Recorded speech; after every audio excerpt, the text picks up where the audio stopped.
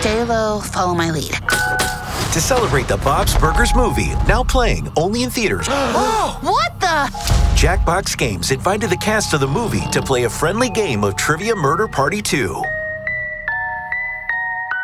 In the Bob's Burgers movie, the Belchers get caught up in a murder mystery. I didn't do it. I have an alibi. Right, of course. Nobody thinks you murdered anybody in real life, Eugene. I- I'm just introing this game of trivia, murder. party too? Yeah, it's exactly.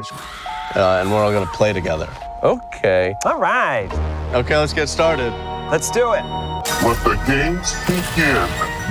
What's the average lifespan of a dollar bill? Who picked this? What is Malta?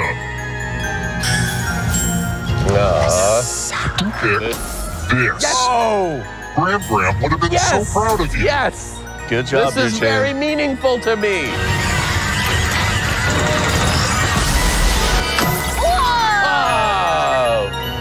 You and your friends survive a night of Trivia Murder Party 2 fun?